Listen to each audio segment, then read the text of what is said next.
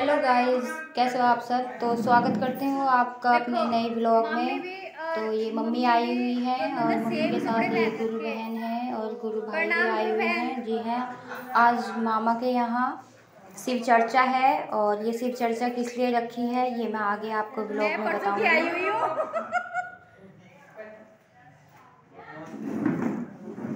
टमाटर नहीं काटे आपने। और यहाँ सबके लिए चाय बन रही है। और ये स्पेशल बदला है छोटी बेबी के लिए। नमक वाला दलिया है ना?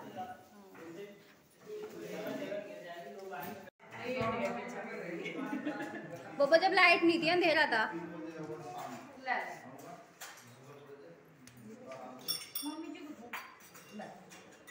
वो भी आया।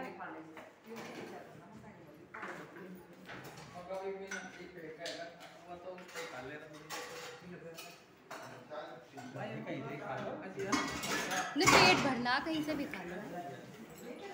और यहाँ सब खाना खा रहे हैं दोपहर का।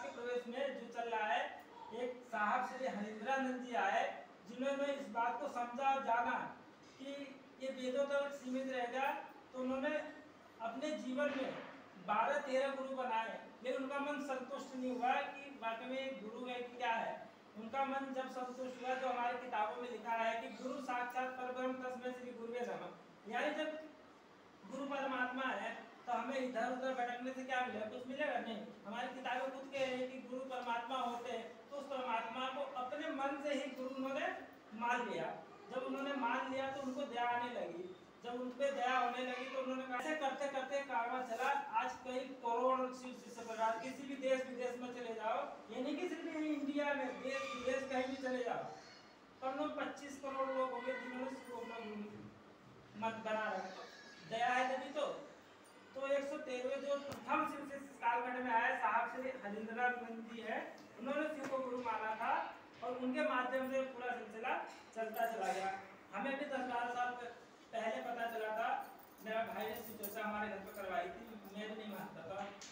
तो उसके भाई के माध्यम से मालूम चला कि शिव गुरु होते हैं और शिव दया करते हैं, गुरु रूप में आते थे, वही होते हैं गुरु। सही को तो सब सही करते थे, लेकिन बिगड़े हुए जो बनाते गुरु वही हुआ। तो सिर्फ़ यही काम करते हैं कि आपको जो दिक्कत है, परेशानी या जो कष्ट है पीड़ा है ना वो दूर करते हैं। देने को तो सब दे देंगे। अब जैसे हम कहते हैं कि रावण थे, रावण जी थे, उनके पास तीनों लोगों की शक्ति आती है ना उनसे ताकतवर कोई नहीं खाता लेकिन उनको समझ नहीं थी कि शक्ति को संचालित कैसे करना है। इसलिए आप देखो, उनका कुछ भी नहीं बचा। ऐसे भगवान तो सब कुछ देंगे, लेकिन ज्ञान मांगना ही पड़ेगा, उसके लिए आपको पढ़ना पड़ेगा गुरु क्लास में। और पढ़ने के लिए मात्र तीन ही काम बताए थे ये तीन काम करना है। और इस तीन काम को करोगे तो कुदरती आत्मज्ञान आएगा। आपको पूछना ही नहीं पड़ेगा कि मोटी मोटी किताबें पढ़ने की ज़रूरत नहीं है कि, यार, इसमें क्या होता है, उसमें क्या होता है? ऐसा कुछ भी नहीं है। आप तीन काम करोगे ना, कुदरती आत्मज्ञान आएगा। तो इस तीन काम को करने से आपको समझ में आएगा कि वाकई में एक कोई ऐसी सत्ता है, आपको दिखेगी नहीं, लेकिन आपको लगेगा आपके बगल में खड़ी है और आपको महसूस करा उनके अंदर ताकत है आपको महसूस करा देंगे कि हमें तेरे साथ खड़ा हो, हर में खड़े मिलेंगे। कितनी भी बड़े बड़ी दिक्कत आ जाए, वो हमेशा साथ खड़े रहेंगे। लेकिन आपको जो तीन बातें बताई गई है ना, उस पर बस खड़े रहना। आप अपने विचार पे खड़े रहोगे तो वाकई में आपको कि हाँ वाकई में मैं गुरु हूँ और मैं तो भतीजा भी आया हुआ है मेरे, ये तीनों भतीजे हैं, छोटे वाले भाई के, दोनों बच्चे हैं ये। तो ये यहाँ ऊपर गेम खेल रहे थे तो मैं यही देखने आई थी कि बच्चे कर क्या रहे हैं।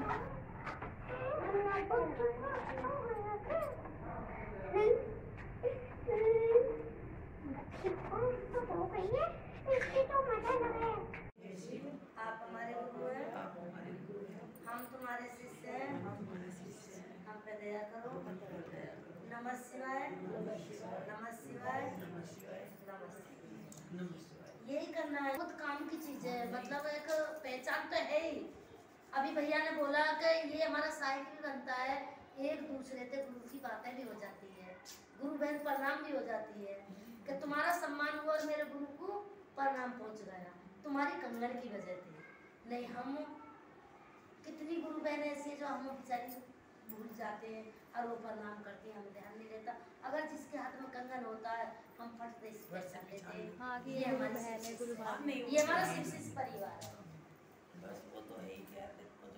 कुछ समय के लिए अपनी वाणी को शिव गुरु के चरणों में रखते हुए फिर से हे शिव गुरु तुम्हारे कमर चौं प्रणाम करती हूँ। साहब दीदी तुम्हारे कमर चौं प्रणाम करती हूँ।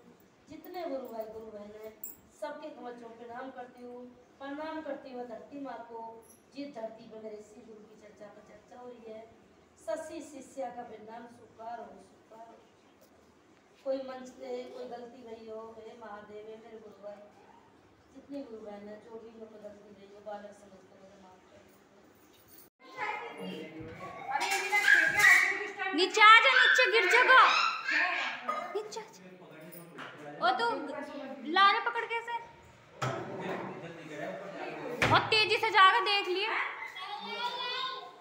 आ जा। नीचे आ जा। वो अपनी मम्मी को दिखा रहा है, मैं जा रहा तू मुझे रोक लिया तो बुला के उन्हें चाय वाय पी लेंगे।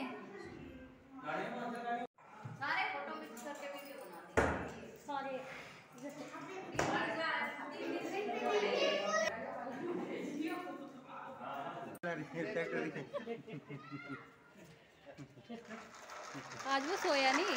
सबको देख कर बोल रहा बेचैन सा। सोया नहीं आज वो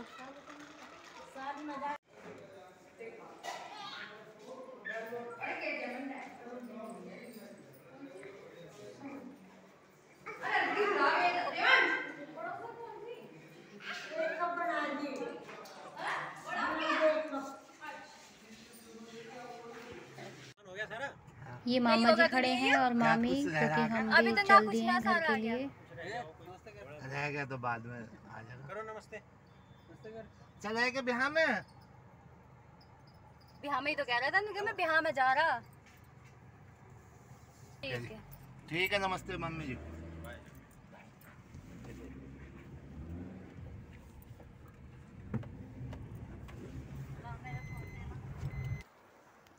तो इस छोटे बेबी के लिए शिव चर्चा लिखवाई थी, क्योंकि कहते हैं कि बच्चे होने आसान नहीं होते हैं। इसकी मम्मी को कई बार तकलीफ़ हुई थी।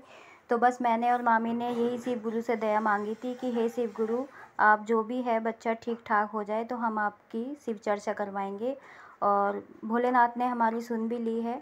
तो बस उसी के लिए मामी ने और मैं भी गई हुई थी तो शिव चर्चा करवाई है। तो आप लोगों को ब्लॉग कैसा लगा?